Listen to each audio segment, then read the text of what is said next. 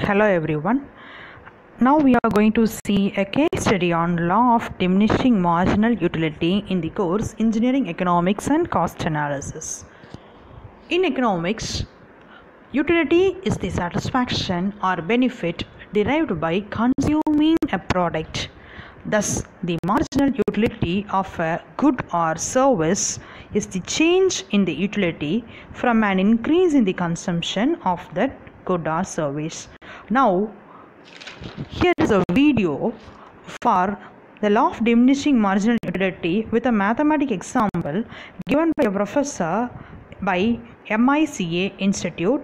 Professor from MICA University, Mysore, have explained the law of diminishing marginal utility relating to mathematics and uploaded the video in YouTube. Here is a video for you. the law of diminishing marginal utility, very commonly called DE. This was actually first uh, uh, proposed by uh, an economist named Russell and it was popularized by Professor Alfred Marshall. So this is a very important law. It is it has got wide application. As long as we study and apply the concepts of economics, there is no escaping from the law of diminishing marginal utility. So it's very important for us to have thorough understanding of this entire. And from the second PUC examination perspective also, this is a very important question. A lot of times there are questions ranging from 1 mark to 4 marks, 6 marks asked on DA. So let's try to understand uh, this law in this video. Now if you see I have uh, already uh, drawn a table for us to understand. Now let's see how does this table uh, work and what are the components of this table. In the first uh, column here, I have considered the units. Now, what is happening? I am increasing the consumption of the number of units of a particular good. Now, what's happening? I start the first unit, I go up to the sixth unit. So, I have consumed six units of a given commodity. Now, let's come to the second column, which talks about the uh, total utility. So what's happening as I'm consuming an additional unit, the total utility or the total satisfaction that I'm deriving from those units is increasing. It's very simple. 10 becomes 16, 19, 21, 21, 18. So it's increasing. Now let's move on to the last column, which is of great importance to us here in this video. It talks about the marginal utility. So what is happening when I consume the first unit, the utility that I gain was 10 when I consume the second unit, the utility that I'm adding to myself has reduced to 6. When I consume the third unit, the marginal utility has reduced to 3. Then it reduces to 2. When I come to the fifth unit, there is no utility that the commodity is adding to me. So somewhere Should have stopped consumption, which I don't do.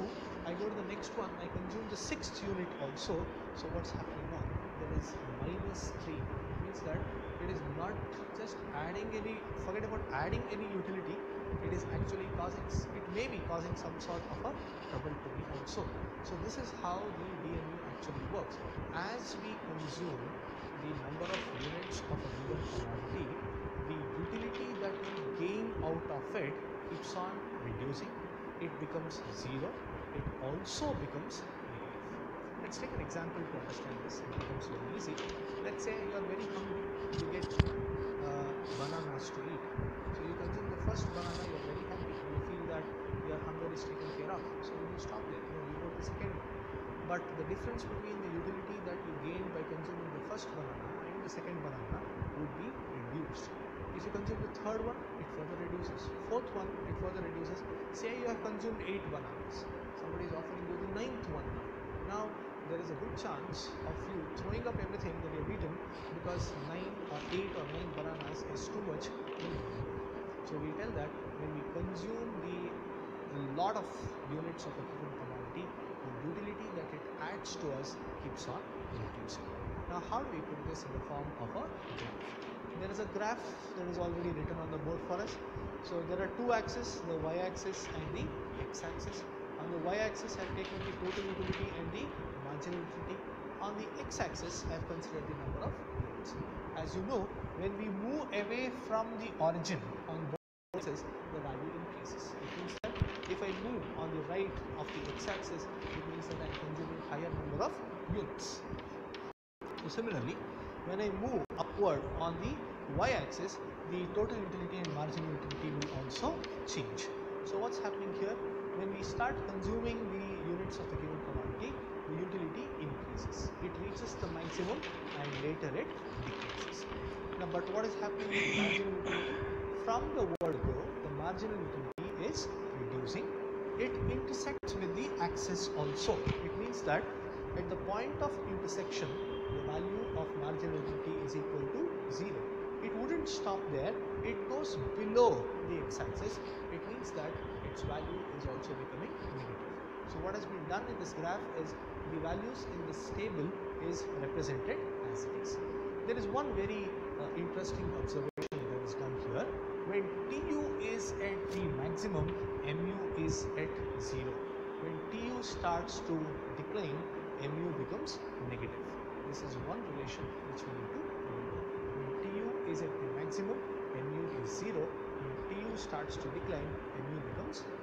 So I hope you have all clearly understood the concept of law of diminishing marginal utility by the professor have explained with the examples, charts and graphs. And I would like to add some more points to it. Marginal utility is the additional satisfaction a consumer gains from consuming one or more unit of a good or a service. Marginal utility is an important economic concept because economists use it to determine how much of an item consumer buy. And also, I would like to give some more examples uh, related to the law of diminishing marginal utility. And the professor has also given a very good example of banana eating. And I would like to uh, say with some of the candies or chocolates. Consuming one candy bar may satisfy person's sweet tooth. If a second candy bar is consumed, the satisfaction of eating the second bar will be less than the satisfaction gained from eating the first, and so on.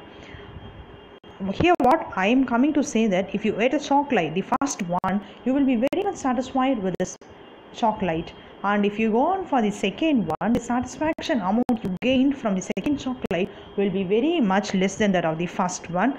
And if you move for another third and fourth one the satisfaction rate will go on decreasing. And i would like to add some more examples to this concept. That is after holding your breath underwater coming up for air and taking the first breath will feels wonderful.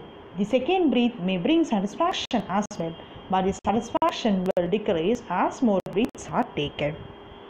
And here is another video to understand the concept of law of diminishing marginality. Well the video will is going to be an animated video so hopefully you will enjoy it.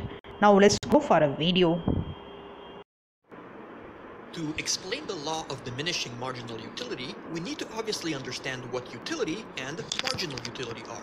Simply put, utility is a term economists like to use to describe the satisfaction you feel after consuming a product or service, whereas utility represents the increase in utility you experience after consuming one more unit of that product or service. The law of diminishing marginal utility, also called Gossen's first law as a tribute to Hermann Heinrich Gossen, simply states that as you consume more, the marginal utility usually goes down. In other words, a glass of orange juice provides a lot of satisfaction when you're thirsty. You can drink another one, but it won't provide as much satisfaction as the first. A third glass might give you additional satisfaction, but not much, whereas as of a certain point, we're in negative utility territory because let's just say you probably won't feel too well after drinking the 10th glass. Of course, there are exceptions, anything from deriving more pleasure from binge watching several episodes of a show rather than just one, to enjoying your stamp collection more as you continue adding to it, but all in all, the law of diminishing marginal utility provides a decent glimpse into how humans consume. So, hope I have seen that you have all clearly understood the concept of law of diminishing marginal utility with example charts and graphs and I would like to summarize the law of diminishing marginal utility. A law of economics states that a person increases the consumption of a product while keeping consumption of other products constant. There is a decline in the marginal utility that a person derives from consuming each additional unit of the product and we have also seen the marginal utility and explanation of law of diminishing marginal utility with the help of examples. How marginal utility is diminishing. In economics, utility is a satisfaction or benefit derived by consuming a product. Thus, the marginal utility of a good or a service is a change in the utility from an increase in the consumption of that good or service. In the context of cardinal utility, the economists sometimes speak of law of diminishing marginal utility, meaning the first unit of consumption of a good or a service yields more utility than the second and subsequent units with a continuing reduction for greater amounts. Therefore, a fall in marginal utility as consumption increases is known as the diminishing marginal utility. Therefore, I repeat, therefore, the fall in marginal utility as consumption increases is known as the diminishing marginal utility. Thank you. If you have any questions, you can post your questions. And this is a session for question and answers. Thank you.